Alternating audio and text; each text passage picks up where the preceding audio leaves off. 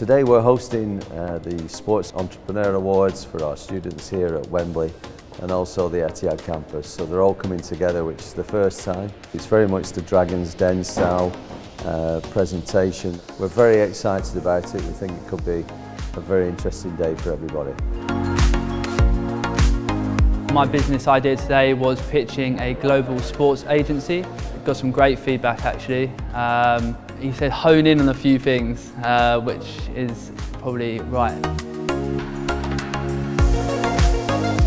There's a bit of pressure always, especially even with the chairman being there and everything, but always been quite good at presenting and like talking to people in general. So uh, no, it was good.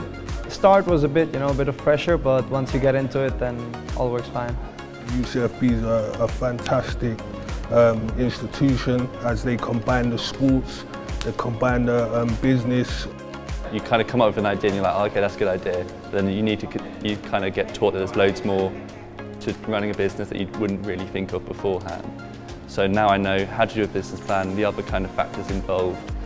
It benefits me because it helps me with my public speaking, it helps people uh, with their networking as well. But at the end of the day, it's more about how we can then present ourselves back to everyone else because when you have four influential people that you're speaking to, they can then tell everyone else about what you can do from what they've just seen from the presentation. We're hopeful that we can, we can find somebody who's got a project that we can we can back and make that into a good business that again creates employment for the future. You know, hopefully we can we can um, enjoy watching them succeed as they go forward. If I won, um, it's a bit early to say right now, but if I won, um, just keep keep building, keep building brick by brick. I won't stop here at all. Um, I am an aspiring entrepreneur. Um, so what the university is basically simulating is pitching and fundraising. Um, so I could leave Wembley right now and potentially go to another London uh, fundraising day. So um, it's really given me a good experience.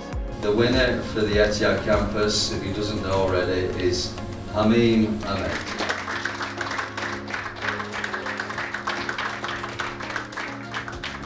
Oh, it was class. Um, I wasn't. I was going into it not expecting anything, um, but just hearing that, you know, the feedback as well you know, it's class. Like, I'm really happy to have won the competition, yeah. Most of the money is going into making the content better and enhancing the content that we're making on the page already. And hopefully like in five years time, Tactic Talk is at the top of the list for brands looking to promote in the football industry.